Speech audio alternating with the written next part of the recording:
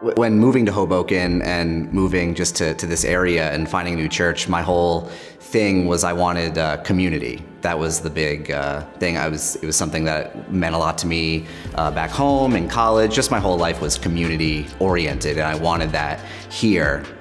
And I feel that Hoboken Grace, uh, at its best, it gives people a home. It gives people, um, whether you're you're a new follower, an old follower, or not even a follower at all, it's uh, knowing that you are welcome here, whether it's connection events or first impressions, just bringing people in and really making them feel like they're a part of something. I feel that, you know, we are planting our roots here and we're not going anywhere. We are really uh, not a temporary space or a temporary building, but uh, we are here to stay and uh, going to make a big impact in the community. So, uh, and yeah, I think with the with the home initiative and the the new building, it'll show people that, and it will really uh, make people who have already been coming here feel at home, uh, but also just you know the future people who come in two, five, ten years from now who will make it their home.